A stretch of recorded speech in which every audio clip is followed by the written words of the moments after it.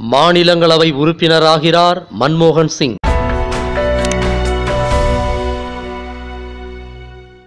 ராகுல் காந்தியை பிரதமர் வேட்பாளராக முன்மொழிந்த திமுக தலைவர் ஸ்டாலின் மன்மோகன் சிங்கை திமுக தரப்பிலிருந்து மாநிலங்களவை எம்பியாக்க உறுதி அளித்திருந்தாரு அப்படின்னு பரவலாக பேசப்பட்டுச்சு. மன்மோகன் சிங்குக்காக திமுகவை காங்கிரஸ் அணுகிய போதும் வைகோவுக்கு ஒரு சீட் ஒதுக்க வேண்டிய விஷயத்தை திமுக எடுத்து சொன்னதுனால மேற்கொண்டு காங்கிரஸ் கட்சி திமுகவிடம் பேச்சுவார்த்தை நடத்தலை.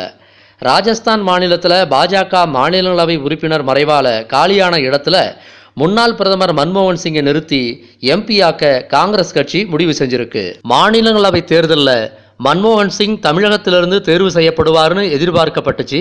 இந்த நிலையில் முன்னாள் பிரதமராக இருந்த மன்மோகன் சிங்குக்கு திமுக தரப்பில் எந்த ஒரு ஆதரவும் கிடைக்காம திமுக தன்னுடைய வேட்பாளர்களை அறிவிச்சிருக்கு. இதில் மன்மோகன் சிங்குக்கு வாய்ப்பு அளிக்கப்படலை. இதையடுத்து அவரை ராஜஸ்தான் மாநிலத்திலிருந்து மாநிலங்களவைக்கு தேர்ந்தெடுப்பது குறித்து காங்கிரஸ் கட்சி பரிசீலனை செஞ்சுக்கிட்டு வர்றதா கட்சி வட்டாரங்கள் தெரிவிக்குது. திமுக தரப்பில் மாநிலங்களவைக்கு மூத்த வழக்கறிஞர் வில்சன் தொமுசாவின் சண்முகம் ஆகியோர் வேட்பாளராக நிறுத்தப்பட்டிருக்காங்க. இன்னொரு சீட்டு மதிமுகவுக்கு ஒதுக்கப்பட்டிருக்கு. அந்த கட்சி சார்பாக வைகோ வேட்பாளராக அறிவிக்கப்பட்டுள்ளார். தமிழகத்தில் காலியாக போகும் ஆறு மாநிலங்களவைக்கு வர்ற ஜூலை பதினெட்டாம் தேதி அன்னைக்கு தேர்தல் நடத்தப்படும். இந்த தேர்தலில் திமுக அதிமுக தலா மூன்று இடங்களில் வெற்றி பெற முடியும். திமுக தோமுசா பேரவைத் தலைவர் சண்முகம் வழக்கறிஞர் வில்சன் ஆகியோரை வேட்பாளராக அறிவிச்சிருந்திருக்கு.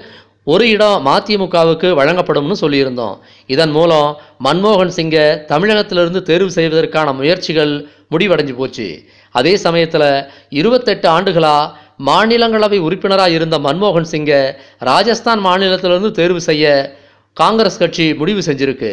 ராஜஸ்தானில் பாஜகவை சேர்ந்த மாநிலங்களவை உறுப்பினர் மதன்லால் சைனி அண்மையில் காலமானார். இவர் ரெண்டாயிரத்தி பதினெட்டு ஏப்ரலில் மக்களவைக்கு தேர்வு செய்யப்பட்டார். இவருடைய பதவிக்காலம் ரெண்டாயிரத்தி இருபத்தி நான்காம் ஆண்டு ஏப்ரல் மாதம்தான் நிறைவடையும். இதனால் இன்னும் ஐந்து ஆண்டுகள் இருக்குது.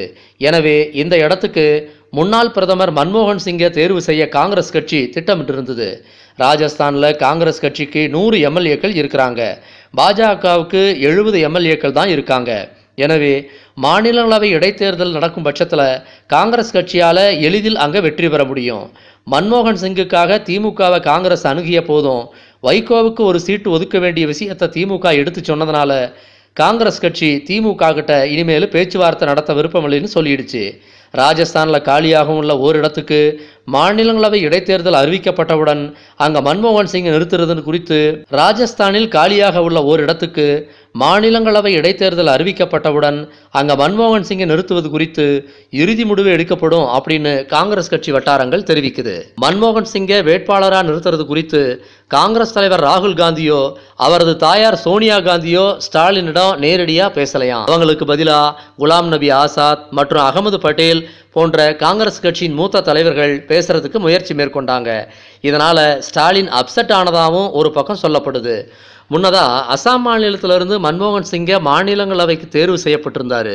தமிழகத்தில் திமுகவுக்கு வாய்ப்பு வழங்காத நிலையில் குஜராத்திலிருந்து மன்மோகனை மாநிலங்களவைக்கு எம்பி ஆக்கலாமா அப்படின்னு காங்கிரஸ் பரிசீலிக்குது. இதே மாதிரி ராஜஸ்தான் மாநிலமும் காங்கிரஸ் மேலிட பார்வையில் இருக்கு. இங்கு கடந்த ஜூன் மாதம் மாநிலங்களவை உறுப்பினரும் மாநில பாஜக தலைவருமான மதன்லால் சைனி காலமானார். இதனால் அங்கே மாநிலங்களவை எம்பி சீட்டு காலியாக இருக்கு